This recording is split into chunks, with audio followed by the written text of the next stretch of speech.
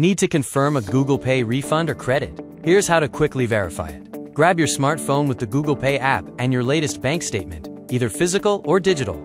First, find the original transaction's ID in Google Pay. To do this, open the Google Pay app.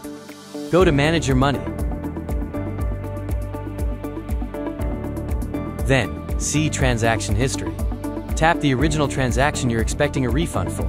You'll see the UPI transaction ID there. Make a note of it, or keep this screen handy. Now, confirm the refund on your bank statement. Find the transaction date around when you expected the refund. Look for a credit entry, money added to your account, with that same UPI transaction ID. It's usually the first nine digits after a slash in the details. Match the amount. Make sure the credited amount exactly matches your expected refund. That's it. By checking these details, you can confirm your Google Pay refund is in your account.